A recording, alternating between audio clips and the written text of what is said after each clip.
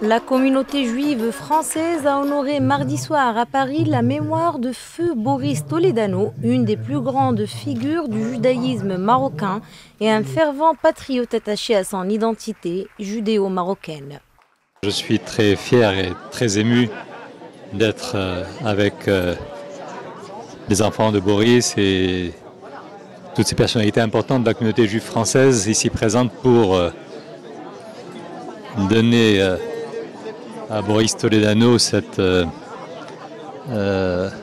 demeure et euh, ce grand honneur qui lui est fait en nommant ce jardin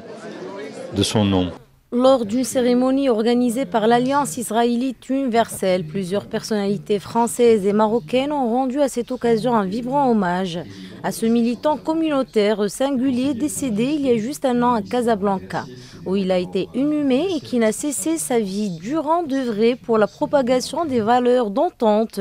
de respect et de dialogue et pour la préservation du patrimoine et du bien-être de la communauté juive marocaine.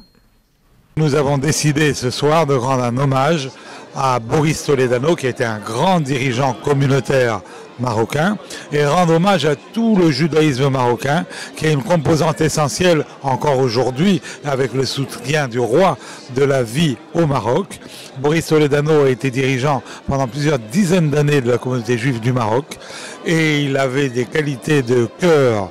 euh, et de partage avec tous ses compatriotes juifs et non juifs. Les trois enfants de feu Boris Toledano, dans Sydney, président directeur général de la maison Christian Dior, ont par la suite dévoilé la plaque commémorative rebaptisant le Jardin de l'Alliance du nom de leur père. Cette cérémonie a été marquée par la présence de nombreuses personnalités françaises et marocaines du monde de la culture, de la politique et des affaires.